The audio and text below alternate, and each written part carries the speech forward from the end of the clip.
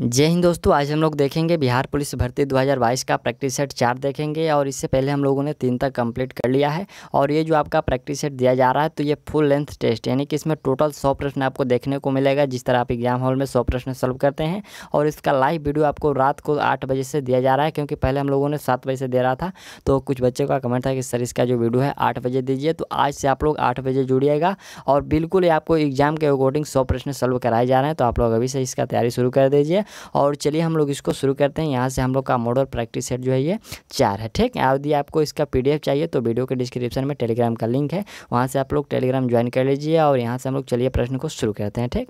देखिए, पहला जो प्रश्न है आपको हिंदी और अंग्रेज़ी, इसमें टोटल हम लोग थोड़ा सा सिलेबस की बात करें तो दस जो प्रश्न हो रहा है इसमें मैथ का है और पाँच प्रश्न अंग्रेज़ी का और जो दस प्रश्न हो रहा है हिंदी का है तो ये टोटल कितना? पच्चीस हो गया और बच्चा जो आपका पचहत्तर तो इसमें जीके और जीएस के प्रश्न पूछे जा रहे हैं, ठीक? यहाँ से आपका पहला जो प्रश्न है कि निर्देश दिया गया कि प्रश्न एक से दो तक के निम्नलिखित विकल्पों में से कौन दिए गए शब्द का सही पर्यावची नहीं है? देखिए, यहाँ पर सही पर्यावची नहीं है। देवता का सही पर्यावची कौन सा नहीं होता है? तो असुर जो होता है, इसका पर्यावची नहीं होता है। बाकी जो सुर हो गया, अमर हो गया और निर्जर हो गया, ये देवता का पर्यावची है। ठीक? चलिए, दूसरा प्रश्न देखा जाए कि तारा तारा का आपको पर्यायची कौन सा सही नहीं है? तो यहाँ पर अम्बुज नहीं होगा और बाकी जो तारक होगा, नक्षत्र होगा और नखत होगा, ये सभी तारा का पर्यायची शब्द है। चलिए नेक्स्ट प्रश्न यहाँ से हम लोग का निर्देश में करें कि प्रश्न संख्या तीन से चार तक निम्नलिखित में से कौन सा विकल्प नीचे दिए गए शब्द का विलोम नहीं है? जैसे कि यहाँ पर पताल पताल का विलोम कौन सा नहीं होगा? तो कागार। देखिए, पताल का विलोम जो होगा, ये कागार नहीं होगा, बाकी जो आकाश होगा नव होगा और व्योम, ये सभी पताल का विलोम है, ठीक? चलिए। अगला यहाँ से हम लोग का प्रश्न चौथे नंबर है, कह रहे कि आग। आग का विलोम कौन सा नहीं होगा? तो आग का विलोम यहाँ पर पावक नहीं होता है, बाकी जो पानी होता है, जल होता है, सलील होता है, ये सभी आग का विलोम है। यदि आपको इसका आंसर याद हो तो आपका चैट बॉक्स ओपन है, आप लोग कमेंट करिएगा और सभी लोग इसका जो कमेंट में अपना आंसर बताते चलिएगा, ठीक? चलिए, यहाँ से आपका जो है निर्देश है कि प्रश्न संख्या पाँच से छः तक निम्नलिखित में से कौन सा वाक्य सही है? इसमें देखिए, आप लोग चार वाक्य देख रहे हैं और इसमें आपको प्रोनाउंसिएशन के आधार पर बताना है कि कौन सा सही है। तो देख लीजिए यहाँ पर पाँचवें का ऑप्शन जो है सी आपका बिल्कुल सही है, यानी कि दिया गया है कि जीवन और साहित्य का घनिष्ठ संबंध है। यहाँ पर ये जो वाक्य है, बिल्कुल सत्य है, ठीक? चलिए, छठा प्रश्न में देखना है कि कौन सा सही है, और छठा का राइट आंसर होगा कि संभवतः कल तक, यहाँ पर संभवतः कल तक वर्षा हो जाएगी। यह जो अनुमान है, इसका प्रोनाउंसिएशन है, ये बिल्कुल सत्य है, और बाकी जो यहाँ पर है यह सभी गलत है, ठीक? चलिए नेक्स्ट प्रश्न यहाँ से हम लोग का सात नंबर है कि प्रश्न यहाँ पर सात नंबर से कह रहा है कि आपको जो है निम्नलिखित वाक्य या फिर वाक्यांशों के लिए एक शब्द चयन करना है, जैसे कि वह स्थान जहाँ कोई ना हो। तो जहाँ कोई ना हो, उसके लिए एक शब्द हम लोग निर्जन कर सकते हैं, ठीक यहाँ पर जहाँ कोई आदमी ना हो, उसको निर्जन कर सकते हैं, ठीक? चलिए, आठवां यहाँ से हम लोग का प्रश्न है कि जिसका कोई शत्रु ना हो तो जिसका कोई शत्रु ना हो, उसको कह सकते हैं आज़ाद शत्रु, ठीक? चलिए, नौ नंबर यहाँ से हम लोग का जो प्रश्न है, नौ नंबर से आपको यहाँ से रिक्त स्थान में भरना है कि मेरी डॉट डॉट से उस विदेशी की चोट पहुँची, क्या होगा? तो यहाँ पर मेरी उपेक्षा से क्या होगा? मेरी उपेक्षा से उस विदेशी को चोट पहुँची, ऑप्शन डी जो है इसमें उपेक्षा रिक्त स्थान में भरा जाएगा, ठीक? अगला हम लोग का दस नंबर है कि वृष्ट ना होने में, यहाँ पर वृष्ट ना होने से सूखा पड़ने की क्या होता है? तो सूखा पड़ने का आशंका होता है। क्या होता है? आशंका होता है। ऑप्शन आपका जो है बी ये बिल्कुल सही है, ठीक? चलिए, अगला यहाँ से हम लोग का देखिए ग्यारह नंबर से जो पंद्रह नंबर तक प्रश्न है तो आपका ये अंग्रेज़ी का प्रश्न है, और जो सोलह नंबर से स्टार्ट होता है तो आपको जीके का प्रश्न स्टार्ट होता है। कह रहे हैं कि find out which part of a sentence has an error देखिए, इसमें से एक वाक्य को तीन पार्ट में डिवाइड किया गया है। आपको उसमें देखना है कि कहाँ पर इरर है। यदि इरर नहीं है तो आपको ऑप्शन डी में नो एरर लगा देना है, ठीक है? आप लोग देख लीजिए। कह रहे हैं कि the sweets were said between the it between the four यहाँ पर बिटवीन द फोर गर्ल्स देखिए, यहाँ पर हम लोग का बिटवीन दिया गया है। तो बिटवीन क्या है कि यहाँ पर गलत होता है। बिटवीन का प्रयोग नहीं होगा। यहाँ पर बिटवीन के जगह पर अमाउंग द फोर गर्ल्स का प्रयोग होना चाहिए था। ठीक है, यहाँ पर अमाउंग होगा बिटवीन के जगह पर। और बारह नंबर पर प्रश्न भी वैसा ही है। करे कि find out to which part of a sentence has an error इसमें देखिए आपको एरर खोजना है। और यहाँ पर देखिए, इसमें एरर इसमें ऑप्शन सी में है कि आर्मी पर्सनल यहाँ पर देखिए आर्मी पर्सनल देख रहे हैं। तो ये जो पर्सनल के जगह पर क्या होगा? पर्सनल पर्सनल गलत है, ठीक? यहाँ पर क्या होना चाहिए कि पर्सनल का मतलब होता है व्यक्तिगत, इस पर्सनल का मतलब। और यहाँ से आपको देना है, यहाँ पर दूसरा पर्सनल होता है, एक होता है, देखिए पी आर सॉरी यहाँ पर P E R S O double N E L होता है। इस प्रोफेशनल का मतलब होता है कर्मिक। तो यहाँ पर आर्मी के साथ क्या लगना चाहिए? कर्मिक का प्रयोग होगा ठीक? ऑप्शन आपका ये इसमें गलत था, ठीक?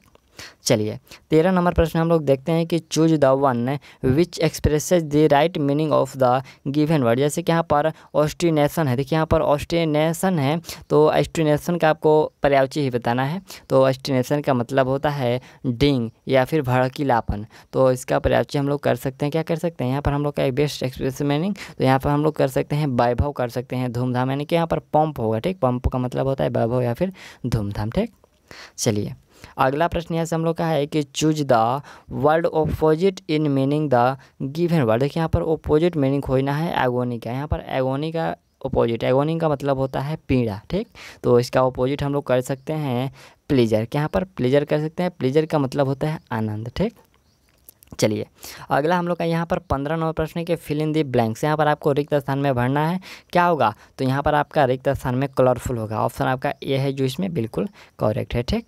चलिए, अगला हम लोग का यहाँ से जो सोलह नंबर से प्रश्न स्टार्ट होता है, यह आपका सामाजिक विज्ञान का है। यदि आपको इसका आंसर याद हो तो आपका चैट बॉक्स खुला है, आप लोग सभी लोग आंसर करते रहिएगा। और सोलह नंबर प्रश्न के निम्नलिखित में से कौन सा सिंधु सभ्यता का स्थान अब पाकिस्तान में है?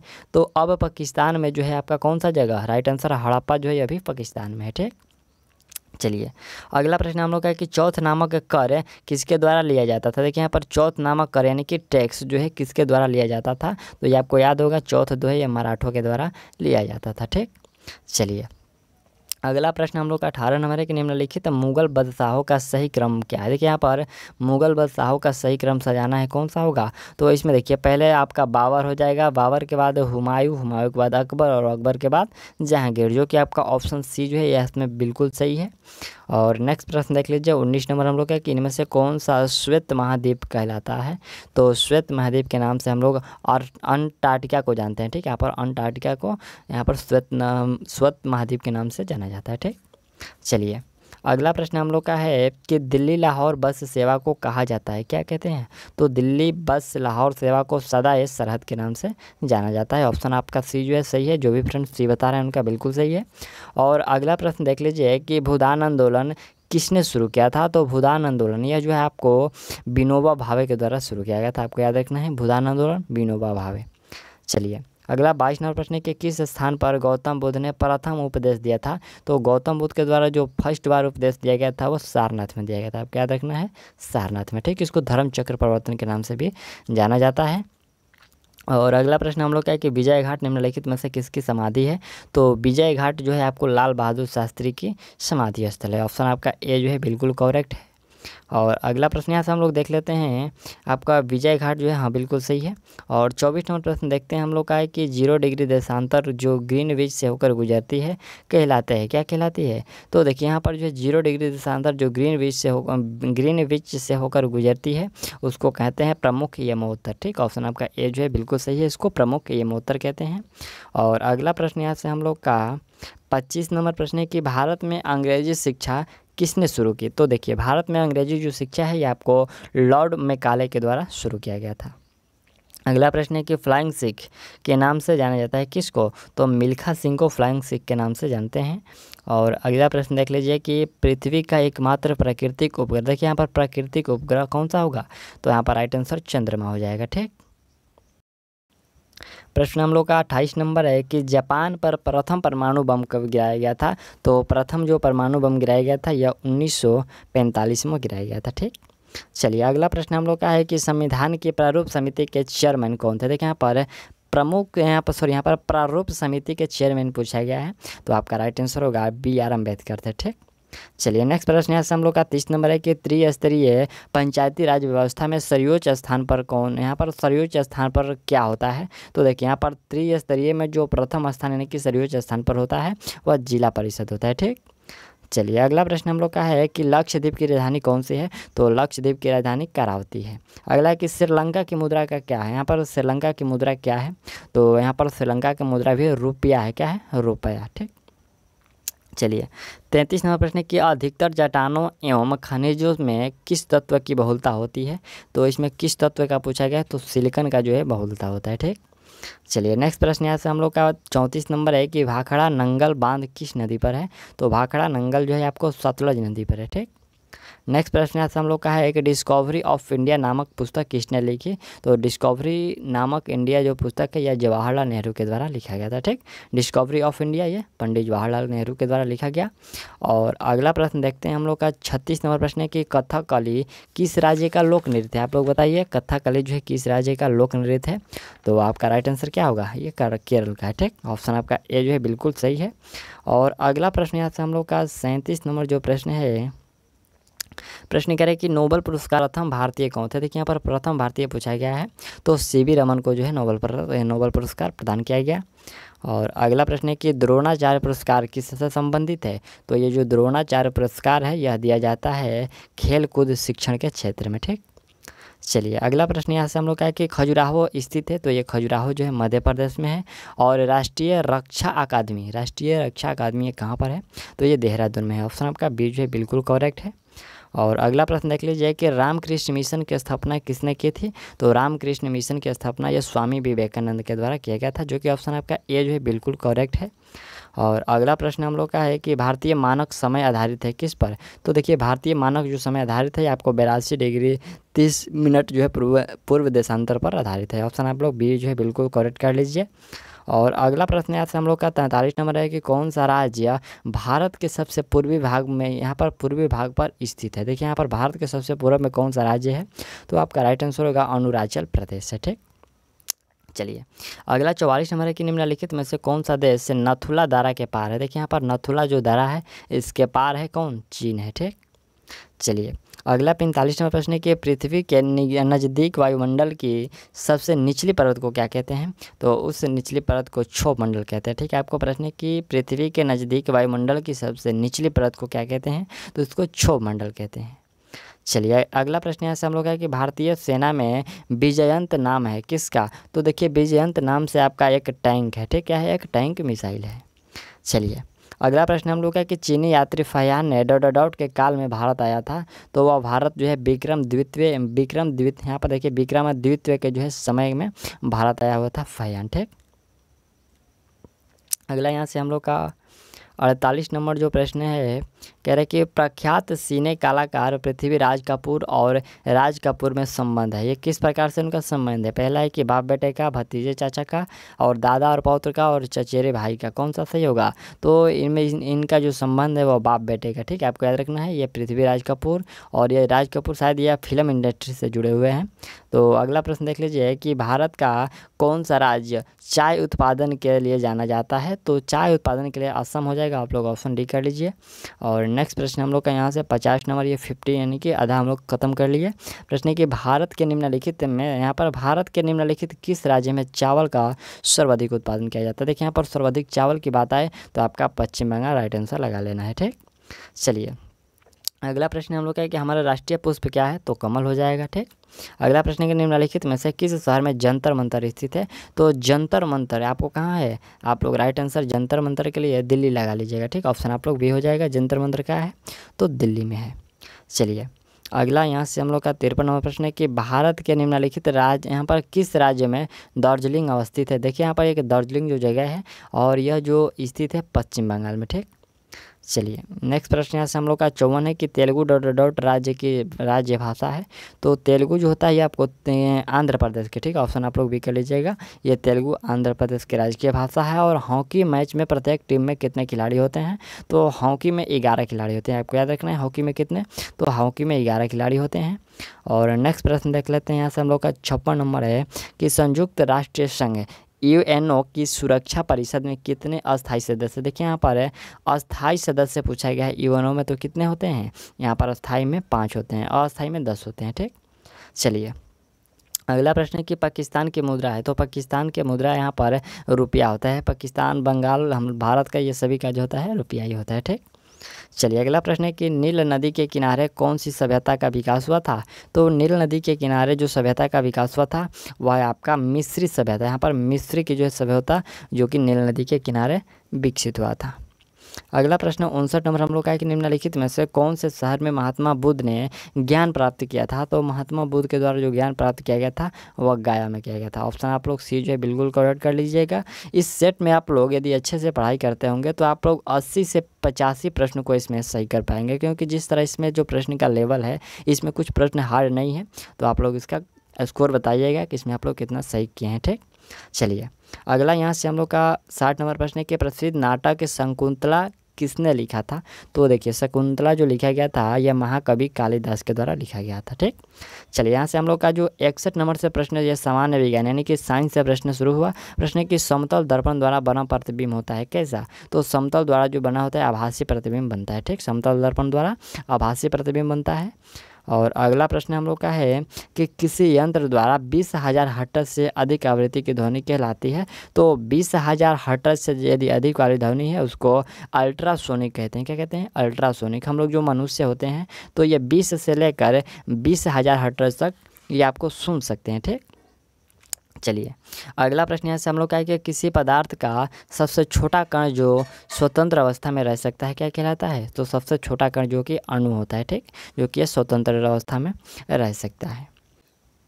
प्रश्न है कि धातु के किस गुण के कारण उसकी पतली चादर बनाई जा सकती है? तो धातु को उसके जो है आघात बधने, आघात वर्धनीयता का जो उसमें जो गुण होता है, उसे पीट कर भी पतले चादर के रूप में बनाई जा सकती है, ठीक? चलिए, अगला प्रश्न हम लोग का है कि दूध को इस्तेमाल करने से पहले हम इसे उबालते क्यों हैं? तो देखिए, इसको उबालने का कारण होता है कि सूक्ष्म जीवों को मारने के लिए उसको हम लोग गर्म करते हैं, ठीक? चलिए, अगला प्रश्न है कि निम्नलिखित में से किसे किसानों का मित्र तो किसानों का मित्र यहाँ पर केचुआ को कहा जाता है, ठीक? चलिए, अगला प्रश्न हम लोग का है कि डायनासोर किस कोसरुकी वर्ग से संबंधित है? तो ये जो डायनासोर है, आपको रेप्टाइल्स से संबंधित होते हैं, ठीक? अगला प्रश्न है कि निम्नलिखित में से कौन सा पौधा रेगिस्तान में आसानी से उग जाता है? तो आसानी से जो है कैक्टस नामक एक पौधा है जो कि रेगिस्तान में आसानी से उग जाता है। अगला प्रश्न यहाँ से हम लोग का उनहत्तर नंबर जो प्रश्न देख लीजिए। उनहत्तर नंबर प्रश्न है कि कौन सा रंग सौर विकिरण का सबसे अच्छा अवशोषक है? देखिए यहाँ पर सौर विकिरण का सबसे अच्छा अवशोषक हो जाएगा कौन सा? तो आपका राइट आंसर काला हो जाएगा। ऑप्शन आप लोग भी जो है करेक्ट कर लीजिए। और अगला प्रश्न है कि आमलीय बिलियन का पीएच मान होता है कितना? तो पीएच मान जो होता है इसका सात से कम होता है, ठीक? चलिए, अगला प्रश्न हम लोग का है कि किसी पिंड का ताप एक डिग्री सेल्सियस बढ़ाने के लिए आवश्यक उष्मा कहलाती है। क्या कहलाती है? तो ये उष्मा धारिता कहलाती है। अगला है कि तांबा और टीन की मिश्र धातु कहलाती है तो टम, तांबा और टीन की जो मिश्र धातु है उसको का, कांसा कहते हैं, ठीक? ऑप्शन आप लोग तांबा और टीन तो इसको कांसा कहते हैं। अगला प्रश्न देख लीजिए कि अयस्कों से धातुओं के निष्कासन का विज्ञान कहा जाता है? तो अयस्कों से जो धातुओं का निष्कासन के विज्ञान को मेटालॉजी कहते हैं। क्या कहते हैं? मेटालॉजी ठीक? चलिए, अगला प्रश्न यहाँ से हम लोग का है कि ऑक्सीजन की अपर्याप्त आपूर्ति में जब कार्बन को जलाया जाता है तो कौन सा यौगिक बनता है? तो देखिए, जहाँ कार्बन को जलाइएगा ऑक्सीजन की आपूर्ति में तो आपका जो उत्पन्न होता है, वह कार्बन मोनोऑक्साइड यानी कि सीओ उत्पन्न होता है, ठीक? चलिए अगला प्रश्न है कि आलू को किस प्रकार की फ़सल में वर्गीकृत किया जा सकता है? तो आलू जो होता है ये कंद मूल का पौधा होता है, ठीक? चलिए, अगला प्रश्न हम लोग का है कि निम्नलिखित में से कौन सी प्राकृतिक वस्तु चुंबक जैसा व्यवहार करती है? तो चुंबक जैसा जो आपका पृथ्वी है ये चुंबक की तरह व्यवहार करती है। अगला प्रश्न है कि किसी भी स्थिर या गतिशील वस्तु की स्थिति और दिशा में तय, यहाँ पर दिशा में तब तक कोई परिवर्तन नहीं होता जब तक उस पर कोई बाह्य बल सक्रिय ना हो। और यह कौन से नियम है? आपको बताना है कि न्यूटन के तो यह देखिए, न्यूटन के जो है प्रथम नियम का जो है विषय है, प्रथम नियम का उदाहरण है। अगला प्रश्न यहाँ से हम लोग का है कि ठोस का घनत्व तो जो, ठोस का घनत्व तो जो जो जल पर तैरता है, ये किस कारण से जल पर तैरता है? तो देखिए, जो ठोस होता है वो जल पर तैरने का उसका मुख्य एक ही कारण होता है कि उसका जो घनत्व होता है वो कम होता है, जो कि ऑप्शन आपका यहाँ से है। ऑप्शन सी जो है, बिल्कुल इसमें करेक्ट होता है कि उस ठोस का जो घनत्व कम होगा तभी वो जल पर तैर सकता है, जिस तरह बर्फ़ जो तैरता है, ठीक? अगला प्रश्न है कि यदि पृष्ठीय क्षेत्रफल घटा ली जाए तो पृष्ठ पर कार्यरत दाब क्या होगा? तो पृष्ठ पर कार्यरत जो दाब होगा वह दाब बढ़ जाएगा। अगला प्रश्न देखिए कि वे पदार्थ जो अपने में से विद्युत धारा को प्रवाहित नहीं कर देते हैं, कहलाते हैं। क्या कहलाते हैं? तो वह विद्युत रोधी कहलाते हैं, जो अपने में से जो धारा प्रवाहित नहीं होने देते हैं, ठीक? चलिए, अगला प्रश्न है कि फ़ारेनहाइट पैमाने में जो शुद्ध जल का क्वथनांक होता है तो इसका जो क्वथनांक होता है 212 डिग्री होता है, ठीक? यहाँ पर फ़ारेनहाइट पैमाने में शुद्ध जल का जो क्वथनांक होता है वह 212 डिग्री होता है। और अगला प्रश्न देख लीजिए कि सेम मूंगफली, मटर, चना आदि के पौधों में पाए जाने वाला राइबोजियम, यहाँ पर लेगुमिनो सोरम नामक जीवाणु सामान्यतः पौधों के निम्नलिखित अंग में निवास करते हैं। तो यह जो निवास करते हैं, ये मूल में निवास करते हैं, ठीक? यहाँ पर मूल जड़ होता है तो वह मूल जड़ में निवास करते हैं, ठीक? अगला प्रश्न, हम लोग का है कि लीफ ब्लाइट नामक रोग अधिकतर निम्नलिखित में पाया जाता है। किसमें? तो यह अधिकतर जो होता है आपको सरवती गेहूँ में पाया जाता है। क्या होता है? सरवती गेहूँ में जो है आपका लीफ ब्लाइट नामक एक रोग अधिकतर पाया जाता है। अगला प्रश्न, यहाँ से हम लोग का है कि निम्नलिखित में से किस कार्य में क्लोरीन का उपयोग नहीं होता है?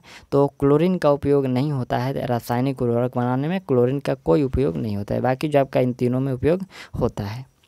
चलिए, अगला प्रश्न है कि सागरीय जल में विद्यमान साधारण नमक की मात्रा तो सागरीय जल में जो है विद्यमान लवा, यहाँ पर नमक की मात्रा तो आपका राइट आंसर होगा, उसमें नमक जो है दो पॉइंट आठ प्रतिशत होता है, ठीक? चलिए, अगला प्रश्न है कि निम्नलिखित में से कौन सी वायु को ग्रीन हाउस यहाँ पर ग्रीन हाउस वायु कहा जाता है? तो यहाँ से देख लीजिए कार्बन डाइऑक्साइड को ग्रीन हाउस गैस या फिर ग्रीन हाउस वायु कहते हैं, ठीक?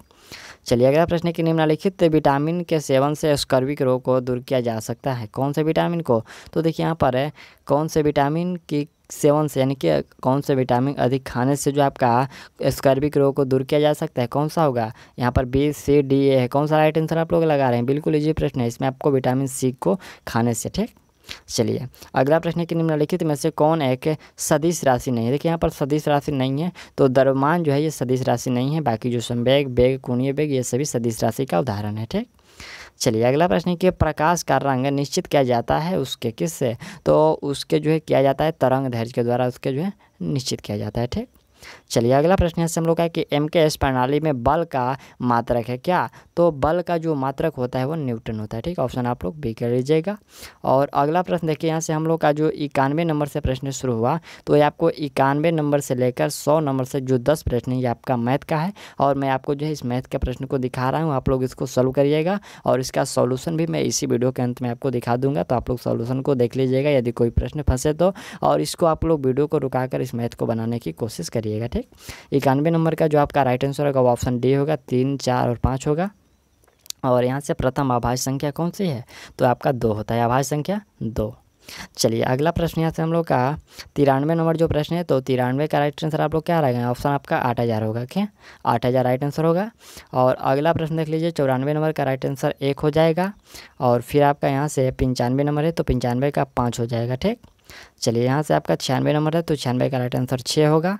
और अगला यहाँ से संतानवे नंबर है तो संतानवे का आप लोग राइट आंसर क्या लगा रहे हैं? संतानवे का छप्पन पूर्णांक एक बटे चार प्रतिशत होगा। और यहाँ से आपका संतानवे के बाद यहाँ से कौन सा होगा? अंठानवे नंबर जो प्रश्न देखें यहाँ पर, अंठानवे नंबर जो प्रश्न है तो अंठानवे का राइट आंसर आपको सात सौ हो जाएगा, ठीक?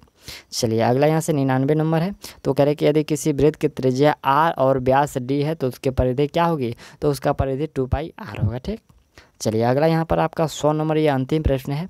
तो सौ नंबर का राइट आंसर आप लोग तीन कर लीजिए कह रहे कि एक त्रिभुज में एक वृत्त खींचा जाता है। इस इस चित्र में वृत्त की कितने स्पष्ट रेखाएँ होंगी?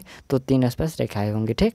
चलिए, यहाँ पर आप लोग इसका जो सॉल्यूशन है देख लीजिए, यहाँ से आपका सॉल्यूशन यहाँ से हम लोग का देख लीजिए, यहाँ से आपका जो इक्यानवे नंबर का यहाँ से यहाँ तक रहा, देखिए आपका इक्यानवे नंबर से शुरू होता है।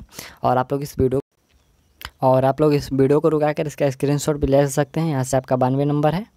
और बानवे के बाद यहाँ से आप लोग देख लीजिए, यहाँ से तिरानवे नंबर का सोल्यूशन है। सबका आपको सोल्यूशन दिया गया है। चौरानवे, फिर आपका पंचानवे, छियानवे और सन्तानवे अंठानवे का यहाँ से यहाँ तक और निन्यानवे का फिर आपका यहाँ से सौ का ये रहा, ठीक? तो हम लोगों ने इसमें आपका जो सौ प्रश्नों को कंप्लीट कर लिया, और ये हम लोग का बिहार पुलिस भर्ती 2022 का प्रैक्टिस जो सेट था, वो आपका सेट चार था, और जो सेट पाँच है, आपको कल शाम को आठ बजे प्रोवाइड किया जाएगा तो आप लोग इसको भी कंप्लीट कर लीजिएगा। और चलिए, मिलते हैं अगले वीडियो में, और यदि आप इसमें जो इसका सेट लगाए हैं तो आप लोग कमेंट कर दीजिए कि इसमें आपका कितना स्कोर कर पाए हैं, ठीक? तो चलिए, मिलते हैं अगले वीडियो में, और तब तक ले थैंक्स ऑल दी बेस्ट